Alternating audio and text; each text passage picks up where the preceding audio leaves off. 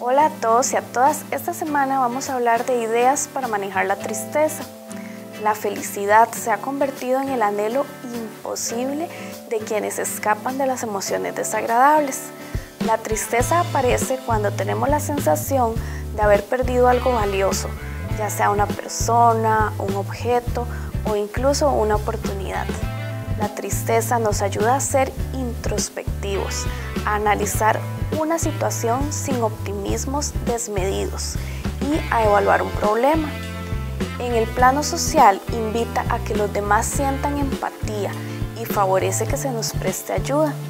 Algunas sugerencias para manejar la tristeza es primero entender que esta emoción forma parte del arco iris emocional que podemos experimentar. Recibe la emoción y reflexiona sobre qué te está indicando. Si tratas de evitarla, reaparecerá. Vergüenza por estar triste cuando nos dicen no se llora, aprendemos a disimular la tristeza como si formara parte de algo que no es normal. Prueba a compartirla. Socializar las emociones nos ayuda a manejarlas. Sentirnos comprendidos hace que nuestra tristeza pierda intensidad, de modo que podamos despegarnos de ella y mirar la situación con más objetividad. Gestionar la tristeza. No importa si no sabes muy bien de dónde viene y a dónde va. A veces nos quedamos anclados en la necesidad de resolver nuestra tristeza. Esto es saber perfectamente de dónde viene y este exceso de análisis puede provocar cierta parálisis metiéndonos en un círculo vicioso del que cuesta trabajo salir. Tómate un tiempo para estar triste, no tienes por qué hundirte si vives la emoción, no es tan peligrosa.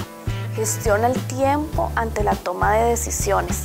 Si tienes decisiones importantes que tomar, valora la posibilidad de posponerlas si crees que la tristeza te tiene tomado.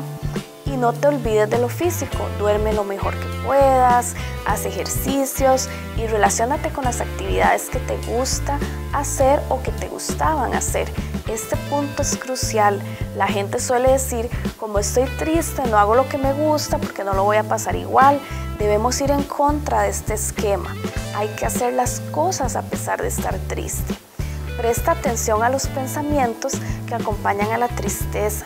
A menudo esta emoción viene de la mano de formas particulares de enfocar la realidad.